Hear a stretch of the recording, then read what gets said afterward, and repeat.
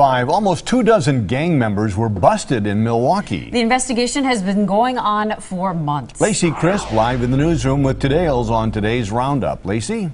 Milwaukee police don't want a repeat of last year's violent summer, and they're confident these arrests will make a difference, but neighbors aren't as certain.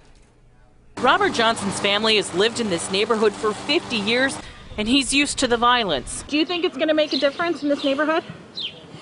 Uh, actually, no, because they got, come on, they got 20 more with guns right behind it. As a part of a joint task force, about 200 officers from the FBI and the Milwaukee Police Department swarmed areas near 29th Street from center to Auer and served seven search warrants and arrested nearly 20 people. I don't hope, I, I know it's going to have a significant impact. The joint task force began last October after a rash of violence in the city. In the past eight months, the group has made more than 50 arrests, served 20 search warrants, and recovered more than 30 weapons. Let me give fair warning to other organized crime crews out there that this is just the beginning.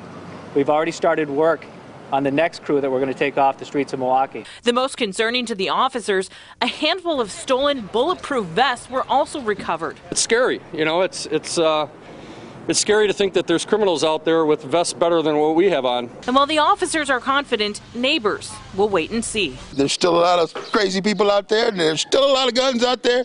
You keep doing what you're doing, but until these people get jobs and know what they got something better to do, they'll keep robbing and acting stupid. And those arrested range in age from 17 to 54 years old. During the arrest, police found cocaine, heroin, and ecstasy. Police tell us they're already working on the next roundup.